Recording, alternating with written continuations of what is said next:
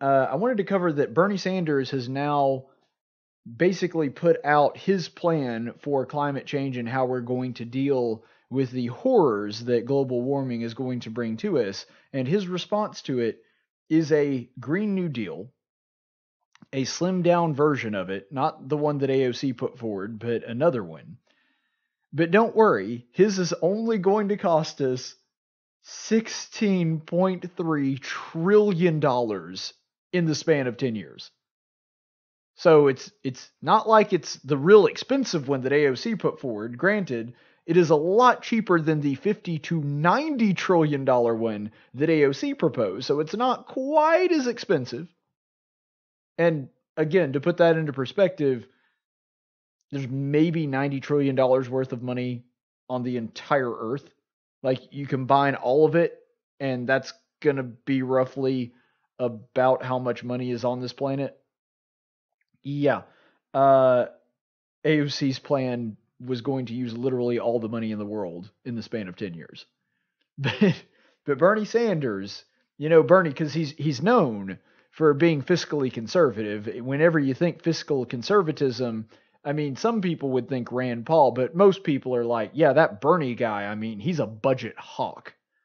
So thanks, Bernie, for being so conscientious and only coming forward with a Green New Deal that, that was only going to cost us. We, we can have this Green New Deal for the low, low price of only $16.3 trillion. All right, to, to understand how expensive $16.3 trillion is, the federal government brings in $4.8 trillion a year. That's how much we brought in last year. And it fluctuates a little bit from year to year, but projected it's not going to move much between four and eight trillion dollars unless there's a, a, pretty big tax increase or decrease. So we bring in roughly that amount of money. And since this is going to be over the span of 10 years, to adjust that to how much it would cost a year, it's going to be about 1.6 trillion a year. So what that means is if we implement Bernie's plan, we're currently bringing in 4.8 trillion dollars and that's that's every dime from every American we collect taxes from. He's saying that this is going to cost us 1.6 trillion a year. So in other words, to not incur more debt, to to just keep the deficit at the level that it's at right now, we would have to increase taxes by 34%. So more more than a third of what we're gathering in taxes now, we'd have to increase it by that much. It just it amazes me that Bernie gets away with this and people in the media do not call him out that um yeah, Bernie that's going to cost a lot of money. A lot of money. And not just from rich people if you increase I mean, think about this. How much are you paying in taxes right now? What percentage of your income goes toward taxes? I'm guessing based on most of my listeners and their income level, eh, probably anywhere from 20 to 30%. Okay, well, imagine that you have to increase that by 34%. The United States GDP is only $19 trillion a year. So, in other words, we would be using a significant amount of the GDP, the gross domestic product, and and that's the the product of, of everything America makes. Every single thing that America makes, all the wealth that we create in a year comes up to about 19 trillion bucks a year. That's about how much we create. And Bernie's saying we need to spend 1.6 trillion of it. That we need to spend all of that just on climate change. And remember, his is the cheaper of the two plans by a significant amount. This thing takes over entire industries and bans some of them. For example, it basically nationalizes the oil industry. Yeah, you know who does that? Actual communists. This isn't even socialism anymore. We're talking about guys like Chavez and Joseph Stalin. What's the first thing that Hugo Chavez did when he took power? He nationalized the oil and he took the most oil rich country on earth and made it into a poverty stricken wasteland. He has more natural resources to work with than the Saudis. And he still can't freaking make it work. And neither did Maduro after he kicked the bucket. And somehow, Bernie Sanders taking over the oil companies and nationalizing it, them, that's going to really help the American economy. That's going to make it a lot better for us. You've got to be outside of your ever loving mind if you believe that. So I know that the the immediate response to this is going to be, but Caleb, the one percent will pay for it. I mean, yeah, it's going to be super expensive, but it's not like the average American is going to have to pay for it. Even though Bernie Sanders has actually admitted many times in debates and on stage that yes, your taxes are going to necessarily go up, even if you're middle class, which granted, he downplays it and downplays how bad it's going to be. But I at least appreciate the honesty that after years of saying it wasn't going to happen, he admitted, yeah, if you implement my policies, the, the middle the, the middle class is going to have to pay for it. But his followers still don't believe that. I know because I debate with them sometimes. And a lot of the Bernie fanboys still don't believe that the middle class is actually going to see a tax increase. They just constantly say, ah, the 1% will pay for it. It'll be fine. Don't worry about it. Okay, if you tax the 1%, the top 1% in this country, if you tax them at 100%, took every single dime that they had, they got to keep none of it. If you taxed 100% of their income, it would generate about 500 billion. Just barely over 30% of what we would need to pay for this thing. And that's if we tax them at 100%.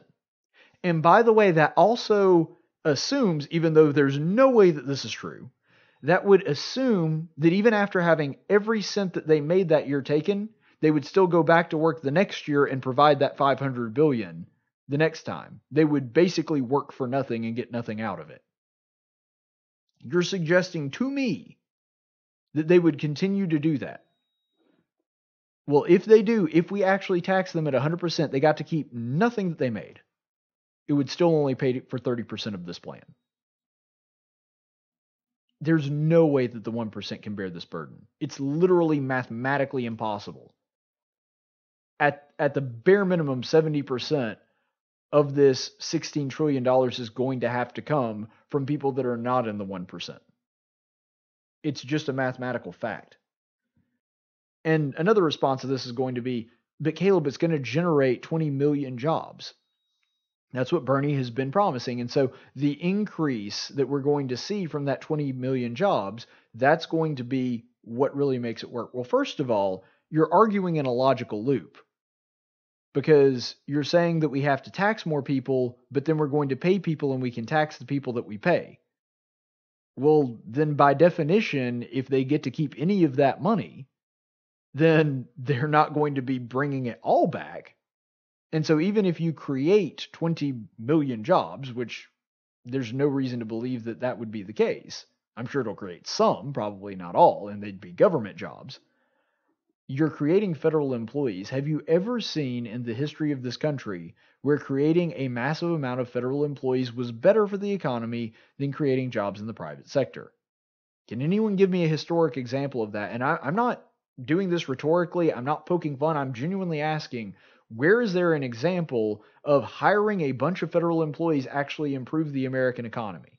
Can you draw that logical line for me? Because I've never seen it, and I've read a lot of American history.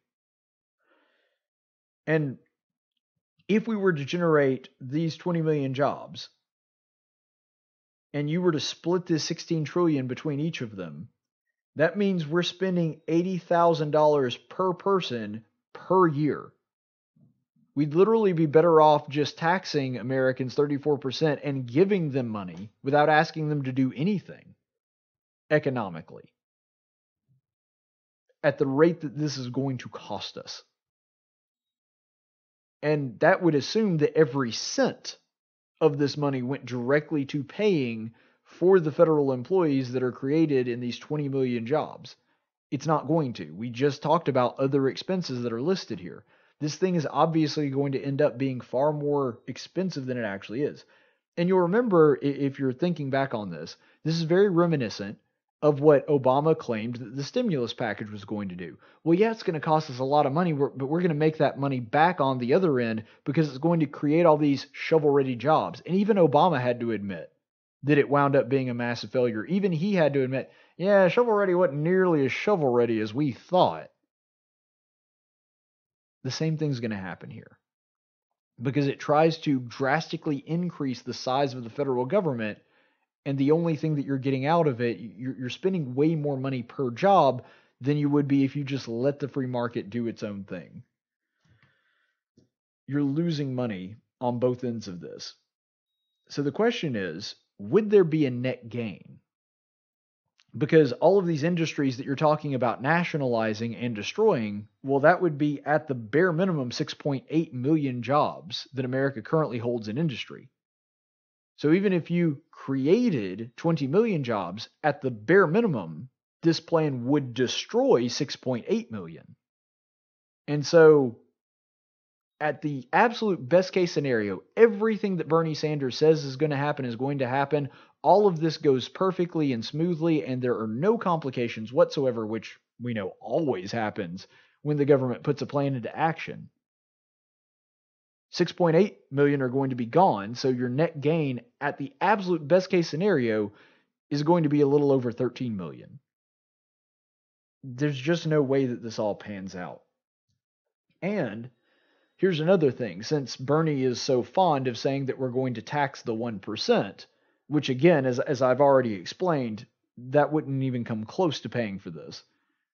I assume at least some of the 1%, maybe not all of them. In fact, I'm sure not all of them.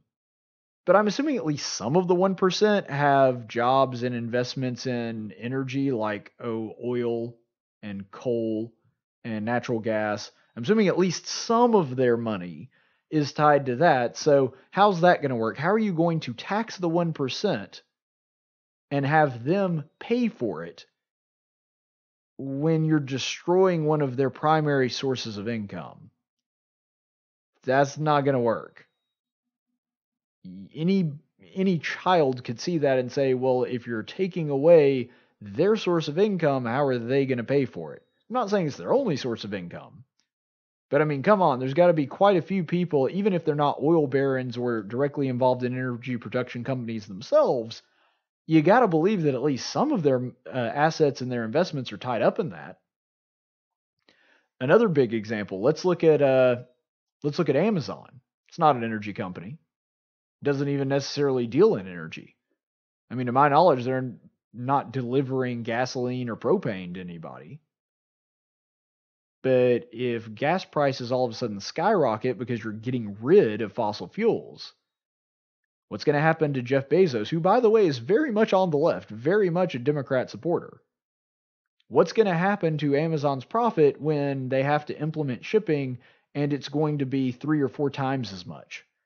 How do you think that's going to affect their sales and their bottom line? You, you can't just say that, oh, we're going to get rid of all these things and it's going to be fine and it's not going to affect the economy in any other way and we'll just have the 1% pay for it. Yet the 1% are not going to be able to produce at the level they are now if you implement all these policies. And by the way, remember, this is one policy. One. This isn't counting all the spending that we are going to expand under Bernie Sanders when it comes to things like Social Security, it's not counting any of that. And let's also not forget that Bernie Sanders, the hallmark of his campaign, is that we are going to get rid of college debt, which is also going to be incredibly expensive and even more expensive. Is we're going to move to Medicare for all, which, by the way, according to Bernie Sanders' own people, this is not a conservative website. I'm not pulling this from The Blaze or uh, the Daily Wire, any of the conservative sites. Bernie Sanders, from his own mouth, is saying that at minimum, Medicare for all is going to cost $30 trillion. So even if you lowball it at 46.3 trillion a year because that's what you get when you add that 30 trillion to the 16.3 trillion green new deal he's now proposing it would take us more than 3 years of a 10 year period that's what these figures are for of that 10 years it would take us 3 years to pay that off if we spent every single cent that every single American, poor, rich, whatever, if you taxed every single citizen at 100%, it would still take us three entire years out of that 10 year period he's predicting just to pay off these two programs. Bernie, you've got to be outside your ever loving mind to believe that this would work. It's just not possible. The Democrats are living in a fantasy world. And anybody with a calculator and a monicum of common sense can figure that out.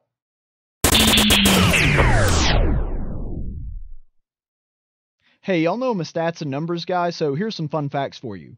People that subscribe to the Tactics YouTube channel are 200% more satisfied with their online video content and 400% more likely to be able to speak intelligently about politics and religion with somebody they know.